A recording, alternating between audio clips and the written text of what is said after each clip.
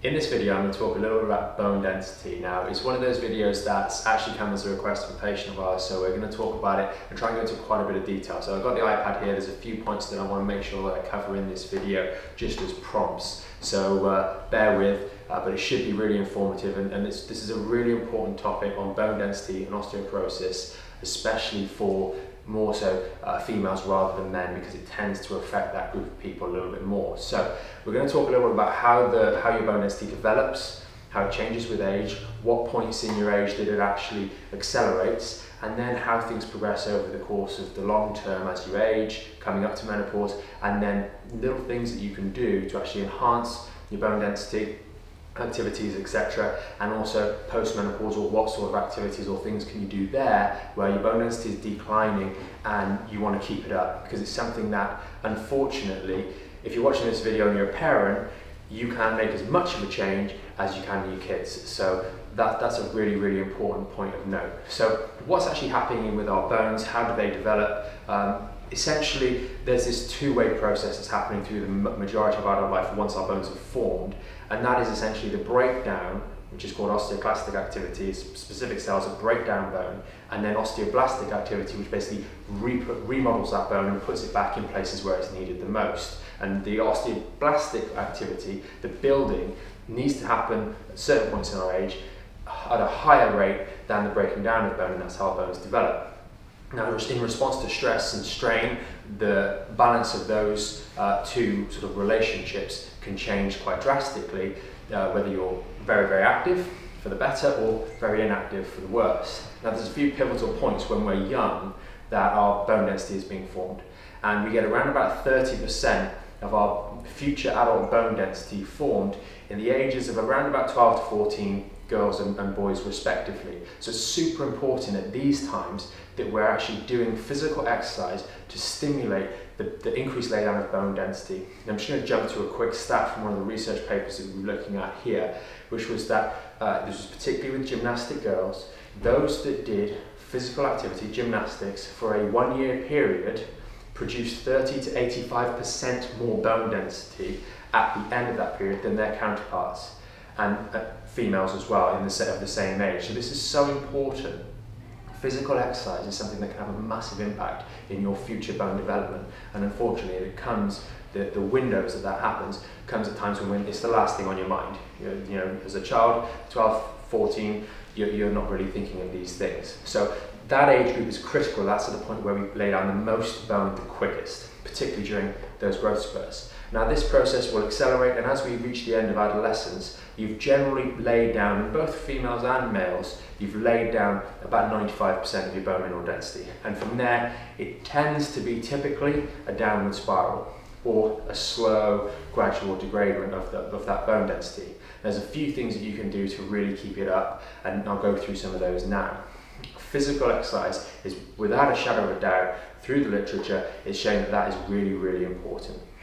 The bones are adaptive uh, organ or organs inside our body, and they are responding to stress and strain. If you don't uh, use it, you lose it, and that's something that's true in muscles. It's true in any any skill or any any any sort of adaptation.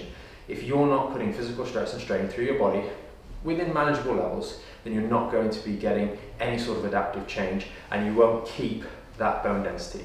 Now there are some research studies and we're going to put any links to any research in the in the descriptions of this video so you can actually read into it more and if it is something that you're really interested in we do encourage you to look into it yourself um, in, in, a little bit more detail because it is very very interesting and, and really really important. Um, the actual bone density can increase if you're doing this physical activity. So by doing more physical activity through the body, that's things like running, brisk walking, slow walking doesn't generate enough impact.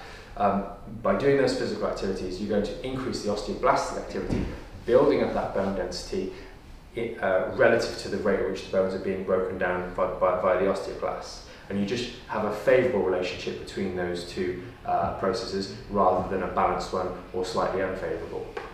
As we go through life, the osteoclastic activity starts to increase a little bit more, as well as other, other things that stimulate that process like inactivity, decreased levels of calcium intake typically. People tend to start to avoid dairy a little more as they get older so they don't get enough calcium to support that re regenerative process. Now there's a few things in the way of supplements as well in the research that can talk about help, but really don't get bogged down in taking supplements because physical activity shows a massive improvement and a massive help. No matter what age you are, you can take more advantage of it at certain age groups like those early teen years and, and, and, and uh 12 to 14 in, in girls and boys. But um, don't neglect the use of activity, physical stress and strain on the body. Vitamin D, a massive one, that's really, really important. So taking that, make sure you don't have a deficiency. There's other research which talks about, particularly if you're living here in the UK, supplementing vitamin, vitamin D between sort of September and March time when the days are a little bit shorter. It helps and it's something that patients coming here with back pain, they notice a difference in their general health and well-being in those months as well and actually supplementing vitamin D in a lot of cases can make a, make a small difference um, outside of bone density as well. Next thing is calcium intake. Now this particular part that I'm going to talk about is more with reference to postmenopausal uh, women and it talks about two figures, 400 and 800 milligrams a day. That's of calcium. You can get a massive impact of, of maintaining bone density if you're getting 800 milligrams a day instead of 400 milligrams a day. Something that you should really be doing, especially if you're not on, on uh, HRT related medications to keep your estrogen levels up because estrogen plays a massive role in the balance between the breaking down and the rebuilding of bone. And as you lose that, your body's natural production for that drops and diminishes. Supplementing that calcium to at least support what you've got is really, really important. And again, physical activity here is very is very important in this later later in life age group.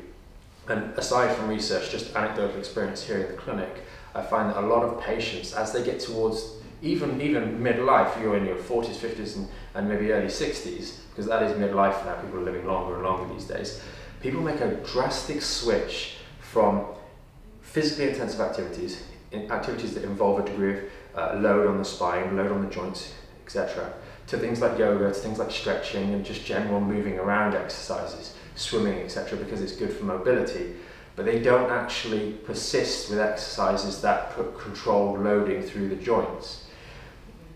This is really a big mistake, and it really does affect a lot of people when they get things like back pain because they don't have the ability to bear load, and it's something that's adaptive. And in this literature here, it starts to talk about the fact that our body always has the ability to de develop site-specific increases in bone density. That means that if you're doing whole body exercises like squats, like other activities, you don't have to have ridiculous amounts of weight, but putting some of that compression through the body in a controlled, regulated environment like a gym or, or a set time at home will actually lead to increases in the osteoblastic activity, laying down more bone, improving your bone density. Doesn't matter what age you are, that stuff is important. And we just notice here in the clinic that as you get older, we find patients tend to move away from those exercises and just do things like yoga and stretching, and it's, it's just not helpful for those sorts of things. So please bear that in mind. Um, I think overall that, that's pretty much it um, in sort of summary. We've got a few key points to take away. It's so important when you're a young child uh, doing these sorts of physical activities because it really helps take advantage of your bone density uh, uh, peaks when you're laying down the maximum possible. That's 12 to 14 and a couple of years either side of that in younger people. You're, you've got 95% of your bone density for life when you're around about 2021 and it peaks and stops around about 27-ish. There's some variation, sexes, etc. But it's such a critical time to be doing physical activity, putting load on your spine because you're adapting and building up the framework for the rest of your life, and that's really, really important. In terms of maintaining bone density and even peaking in a bit after that, physical exercise, joint specific work, putting load through the body. It's no good doing biceps, okay? Yes, you will get, get bone density here, but actually those whole body exercises with a little bit of load are going to help really build the weight bearing structures, improve that bone density so we don't start getting osteoporotic, osteoporotic fractures through the spine in, in, in the back end or back third of life. Super important. Then finally, vitamin D and calcium. Vitamin D seems to be a little bit more important, so supplement that, especially here in the UK through those winter months.